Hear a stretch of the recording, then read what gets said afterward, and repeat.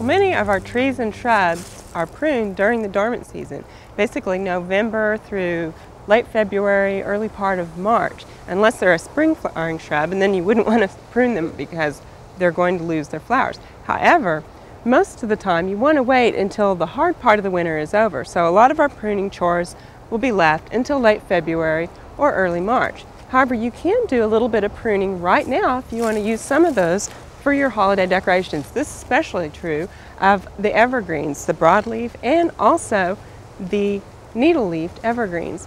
Now, you can do just a little bit of pruning. If you see some things that are sticking way out, maybe clip them off right now and then use those to decorate for Christmas.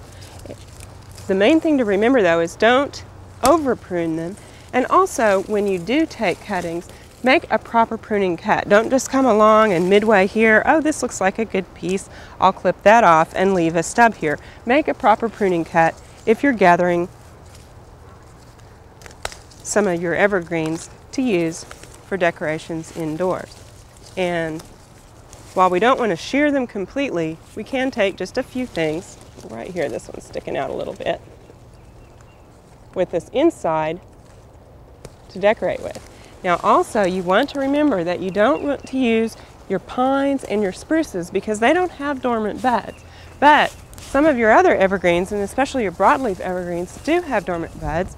And also, many of your Arborvitaes and also junipers, such as the eastern red cedar, have dormant buds, so you can prune a little bit on those and use them. You can also use, if you don't have a lot, maybe if you went and bought some garland at the store and you do want to have some of the pine, take a little bit of that and unwind it and use some of that to decorate with as well.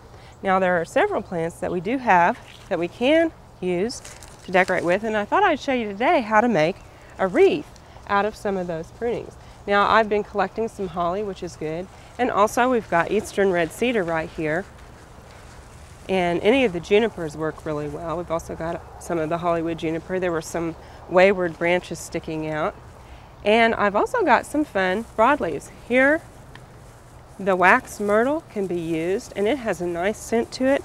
And also in my wreath right here, I've used some magnolias. And again, don't shear the plant, but if there are some wayward branches that need to be pruned out or little pieces sticking out, you can actually use those. And it kind of gives our wreath a southern look.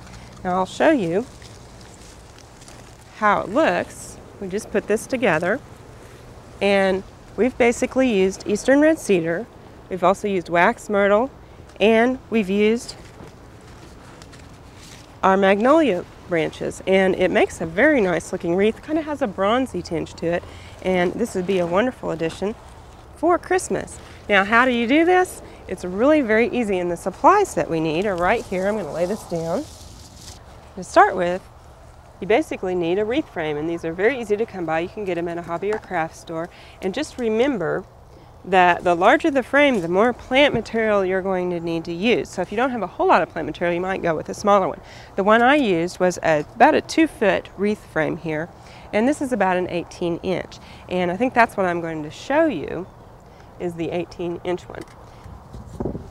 Now again, if you don't have a lot of one particular type of plant material, you can mix your plant materials and that will help each one of them go further without totally chopping down something in your yard. Now you can go out and gather your plant materials ahead of time. In fact, it's really great if you can go out the day before or the evening before and gather them and then let them soak in a bucket of water overnight. It's pretty much like when you make garland or anything else. They can take up some more water overnight. They'll stay fresher for you longer. And then you can just come and really you need about oh, one to one and a half foot pieces, maybe just a little bit uh, shorter than that. Now, I'm going to go ahead and use some of our wax myrtle again and some of our eastern red cedar. And we've got our wreath frame. The other thing that we need is something to attach our plant material to the frame.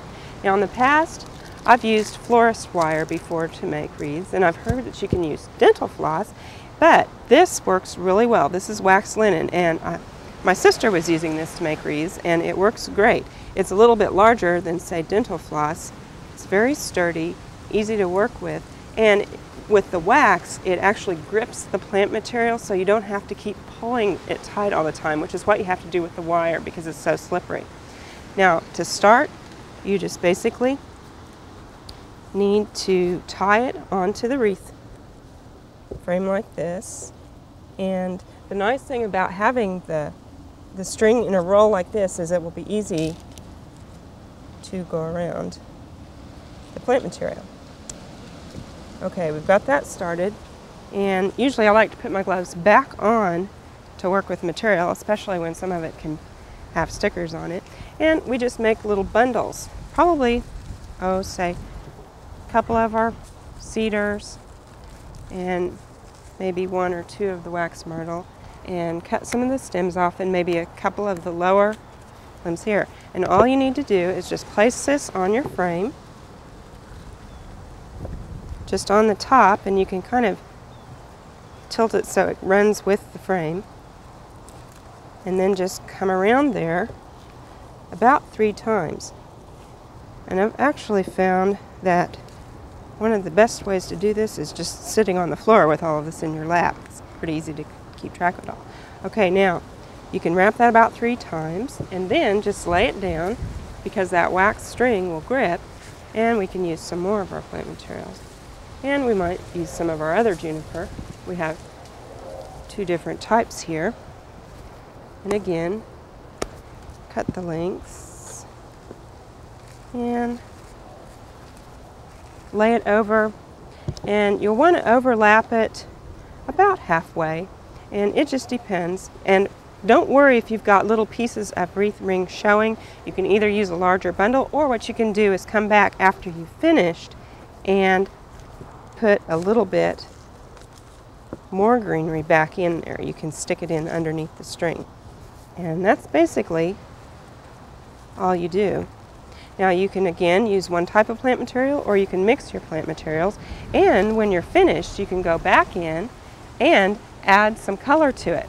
Now here, you know, we usually think of hollies having the nice red berries for Christmas and the deciduous holly which hasn't even lost its leaves yet, it's been so mild out here. But that would be very pretty in there and all you would do is just kind of stick that down in underneath the string. You can just work with it and stick it in there. And we might even clip the top off here, just depending on what you wanted. But if you don't have hollies, there are other things that have berries that look very pretty on there. Here we have rose hips. And while they're not really berries, rose hips would be very pretty in a wreath. You could gather a few of those and put them in, and it gives them a very natural look. Uh, something else that you might not think about, but they've been really pretty this year, crab apples are pretty. And that would be a nice addition to the wreath. You could just cut little bits off it. And also, some of our Nandina berries would be very pretty. So you can see we've got a wide selection of plant materials that have berries. And if you don't have pine cones, use some of those magnolia cones in there. Now remember when you're using fresh materials to decorate with, if you're going to bring these indoors, you need to protect surfaces like painted walls or any of your wood surfaces because again this is uh, live plant material. It could have moisture in it and also sap. So don't just put this on your mantle without protecting it if it's a wood surface. Now brick would be fine the other thing you want to remember is they are live plant materials. Without a source of water they're going to be drying out kind of like your Christmas tree. Just remember to be careful with anything burning that you don't set your wreath on fire especially as it gets closer to Christmas. Well Remember, as you can use a variety of plant materials from your yard, don't butcher a tree and remember to make proper pruning cuts, but you can decorate a lot with things that you find in your own landscape. We hope you enjoyed this video. It's part of our OK Gardening Classics YouTube channel. You can also find more recent videos on our Oklahoma Gardening YouTube channel. And join us on social media for great gardening tips, photos, and discussion.